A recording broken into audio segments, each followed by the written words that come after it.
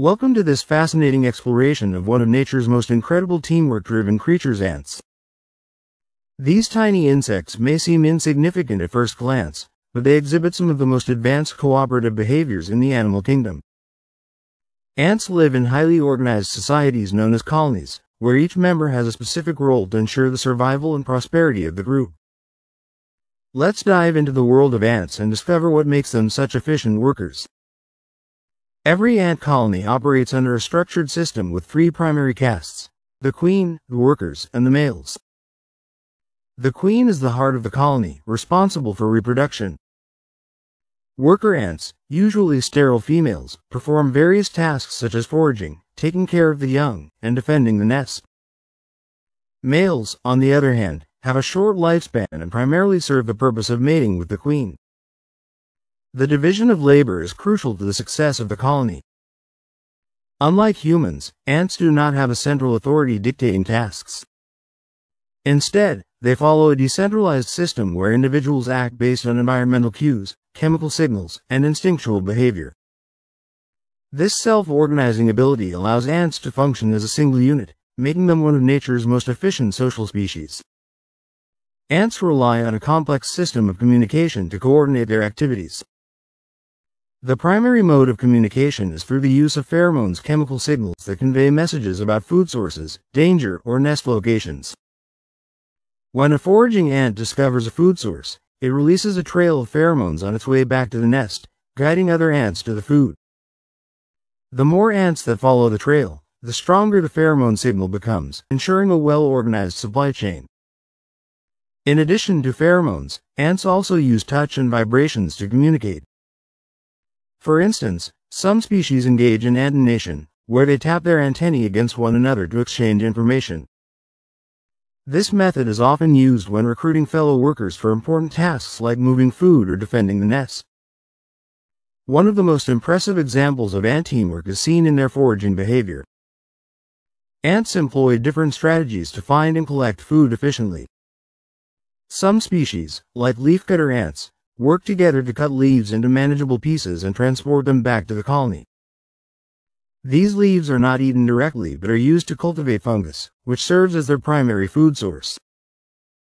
Army ants, on the other hand, move in massive coordinated groups, swarming through an area and capturing prey in their path. This form of collective hunting ensures a continuous supply of food for the colony. By working together, ants can take down much larger prey than they could manage alone.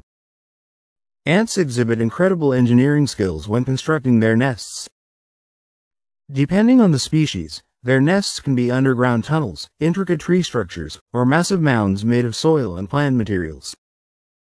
The construction process involves cooperation between thousands of workers, each performing a specific task, such as excavating tunnels, transporting materials, or maintaining the structure.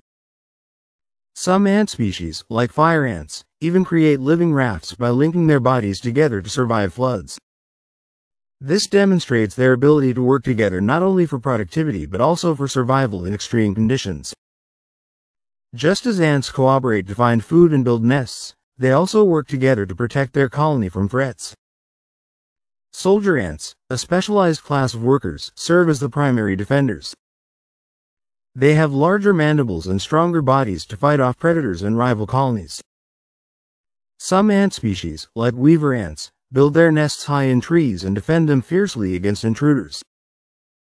Others, like the trapjaw ant, use their powerful mandibles to launch themselves away from danger or attack enemies with precision strikes. When a colony is under attack, ants rapidly mobilize by following alarm pheromones released by their fellow workers. This immediate response helps them launch a coordinated defense, overwhelming predators or rival ants through sheer numbers. Ants are not only excellent hunters but also skilled farmers. Some species cultivate fungus, as seen in leafcutter ants, while others engage in symbiotic relationships with other insects. For example, aphid herding ants protect aphids from predators and, in return, harvest their sugary secretions known as honeydew. This mutualistic behavior highlights the advanced problem-solving capabilities of ants. By cooperating with other species, they ensure a reliable food supply while providing protection to their partners. Ants are known for their collective problem-solving skills. One remarkable example is their ability to form bridges using their own bodies. Army ants, for instance, create living bridges to cross gaps and navigate difficult terrain efficiently. This behavior allows them to move their entire colony across obstacles without the need for complex infrastructure. Similarly, when faced with floods, fire ants link their bodies together to form floating rafts, ensuring the survival of the colony. Each ant grips onto another, forming a buoyant structure that can stay afloat for weeks until they reach dry land. While ants are known for working together within their own colonies, conflicts between rival colonies can be intense. Ant wars are common when resources are scarce, and competing colonies fight for territory. Some species, like army ants and Argentine ants, engage in full-scale battles involving thousands of individuals. Ants are a true marvel of nature, showcasing the power of teamwork in its purest form. Their ability to work together through communication, problem solving, and division of labor enables them to thrive in diverse habitats across the globe. From foraging and farming to nest building and warfare, ants exhibit behaviors that rival even the most sophisticated human societies. By studying ants, we gain insights into how cooperation can lead to success in any community, whether in nature or human society. Thank you for joining us in this exploration of how ants work together. Don't forget to like share the video and subscribe to my channel for upcoming videos. Until next time take care and goodbye.